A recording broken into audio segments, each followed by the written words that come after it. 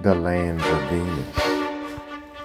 The original beings of these lands also called Venusians, and unlike those of Mars, they survive all colonization. But how?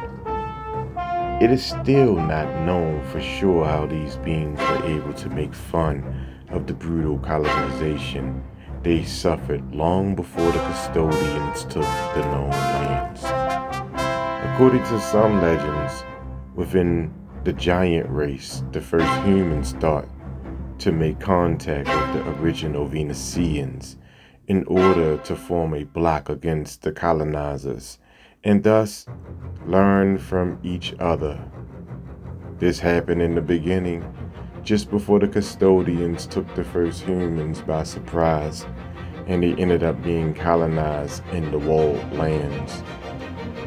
There are theories that some of the early humans who started in the lands of Asgard, Lemuria, and Atlantis in conjunction with a portal connection to Hyperborea may have escaped before the first custodial attack and possibly settled in the lands of Venus.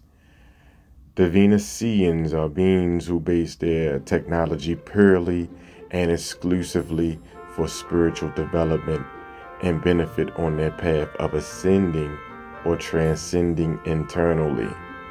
They did not possess weapons of destruction for attack and defense.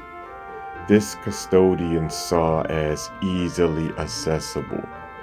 Once they penetrated their world environment, they thought that everything would be simple in those lands. The surprise came when the custodians set foot on the lands of Venus and a great storm hit this circle environment very suddenly. They did not take note of it at that time as they thought it was the weather there. But as the days passed, they saw that the storm never receded and they never could find a single Venusian on the surface. The storms never ceased until the last custodian did not cross the dome to the outside. The custodial technology, they began to notice that, well, with the custodial technology, they began to notice that the Venusians were underground in a bunkers or in several bunkers of a technology hitherto unknown to them. And the storm raging up there on the surface was truly devastating. The trustees gathered to come to a decision soon. They were not going to stay there much more longer. In fact, many trustees started revolts and did not see the point in dying up there things got pretty complicated for the leaders. Many saw it as a failure and others thought of returning at another time. But true to their history, they did not give in and many custodians died on Venus. Even a very important leader is said to have fallen in those distant lands.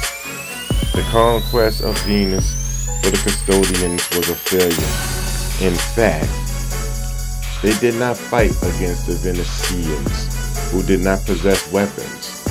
If they had them, I think it would have been a crushing defeat for them.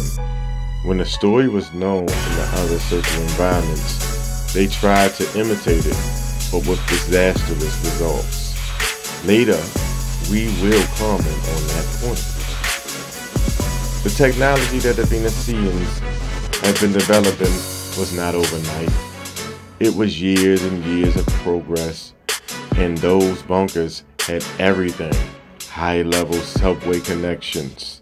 The custodians tried to block and even destroy the area with explosives and missiles, but for each attempt, many custodians died because the area near the bunker were also full of explosives and other technology that hindered even the approach a custodial leader already at the end of this failed invasion met with a Venusian leader, as it was feared that the custodians might try to blow up the entire circle in retaliation. No one really knows what was discussed or what happened that day, but the custodians left the Venus lands in the worst way, with heavy casualties and defeat to their credit. We know because the Venusians themselves told us that in this meeting, besides pleading for peace in their lands, they would have asked for the liberation of the humans, which was totally rejected.